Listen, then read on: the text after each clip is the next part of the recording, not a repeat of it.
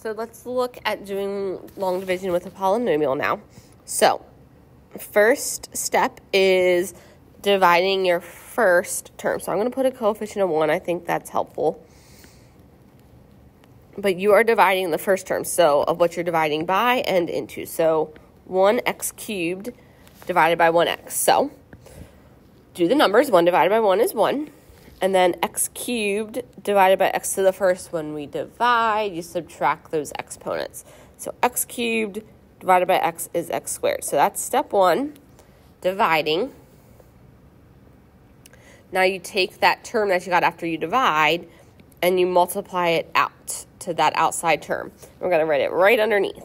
So 1x times 1x squared gives you 1x cubed. 1x squared times negative 2 negative 2x squared. And then we're going to subtract that entire expression. So the first term should cancel. So we're going to leave nothing there. And then 5 minus negative 2. So be careful with the minusing. Minus negative becomes plus, so this will become 7x squared. So we divided, multiplied out, we just subtracted, so now we're going to bring down the next term. So as soon as you bring down that next term, you start at the top again. So now we're starting back over with dividing the first term. So 7x squared divided by 1x. So 7 divided by 1, 7. x squared divided by x, x. Multiply it out, 7 times x, 7x squared. 7 times negative 2, negative 14x. Subtract the whole thing. So 7 minus 7 should cancel. Negative 7 minus negative 14 becomes plus. So 7 plus 14, 7x. So we just subtracted. Bring down that next term. And then you start over again with dividing. So 7x divided by 1x, just 7. And it should go in order Guys, so if you're confident that this is your x squared term,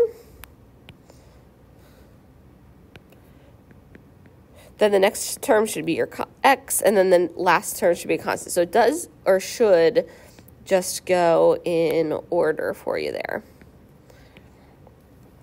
Okay, so we divided them, got 7. So multiplied out 7 times 1x minus 2. So 7 times 1, 7x, 7 times negative 2, negative 14, subtract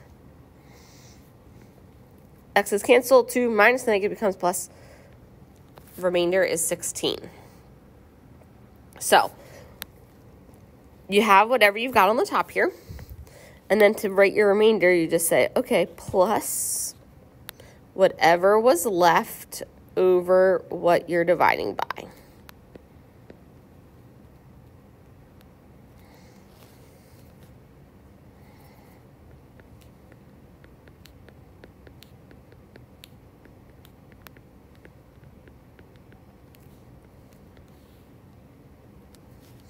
If you really wanted to check, um, if you multiply what you divided by with what your final answer was, if you multiply them back together, you should get what was on the inside. Um, but I know we're not super great with fractions, but if you wanted to check, that is how you would check them.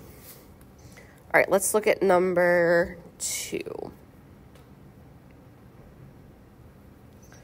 Actually, let's do trickier one. Let's look at number four. So, you guys have to make sure you have all of your terms. So, like on the inside here for number four, it does go four, three, two, one. So that is fine. But on the outside, it goes right from your squared term to your constant. So you're actually missing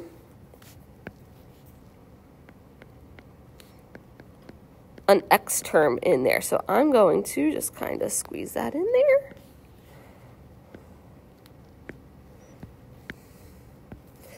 So what would happen if you guys, um, actually let's write it above. If you guys didn't put your 0x in there, what would end up happening is that when you go to start subtracting things, you'd subtract terms that aren't like, you'd be trying to subtract like x squared with x cubes, x's with x squareds. So it is important to make sure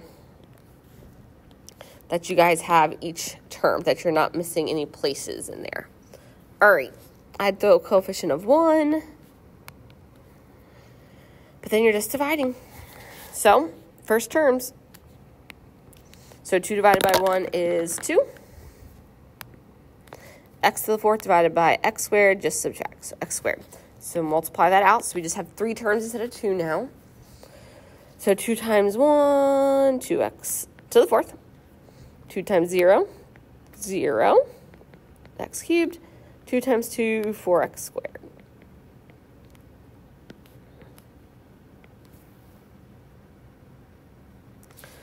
Then we're going to subtract the whole thing. x to the fourth, that first term should always cancel.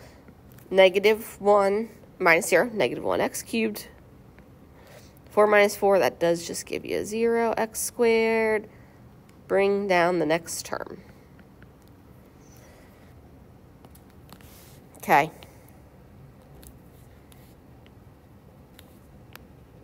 Once you bring down your term, you're ready to start over again with dividing. So negative 1 divided by 1 is negative 1. x cubed divided by x squared, just x. Distribute it out. Negative 1 times 1, negative 1 x cubed. Negative 1 times 0, 0. x squared. Negative 1 times 2, negative 2 x. Subtract everything.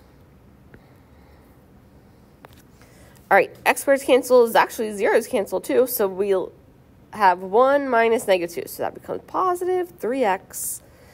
Bring down the next term. So now,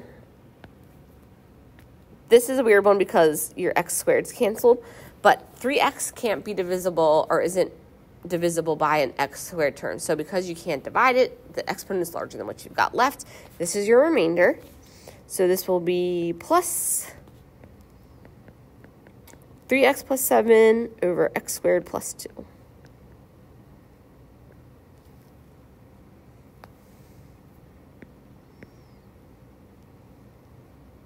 So divide, multiply, subtract, bring down.